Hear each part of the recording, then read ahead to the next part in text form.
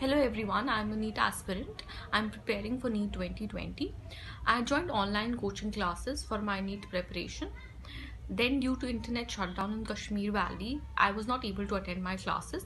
I waited for a week or so. I thought that they would at least restore the broadband connection, but they did not. So then I had to shift to Delhi for my classes for my classes. It was problematic for me and as and time consuming as well as i had to search for pg first. Pgs it was difficult to find good pgs it also created a problem for my father as he's a businessman and he could not connect to he could not contact his clients outside the state as they would approve the products on whatsapp.